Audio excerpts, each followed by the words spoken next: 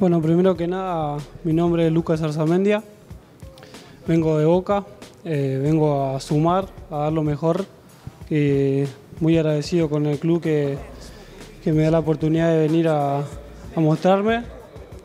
Y bueno, eh, espero dar lo mejor para lo que viene el campeonato. Vengo a préstamo por un año, eh, juego de lateral derecho.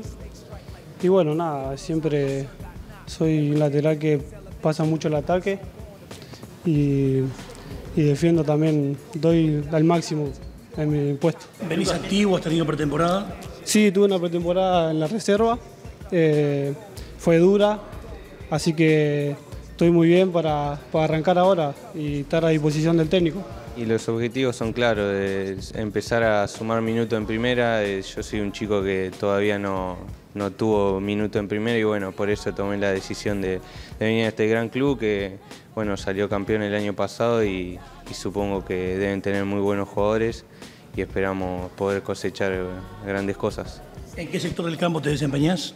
Y me desempeño delantero, más que nada de extremo por, por derecha. Esa. Yo soy más asistidor que, goleador. eh, Prefiero ir por afuera, en- encarar y hacer que los otros hagan los goles.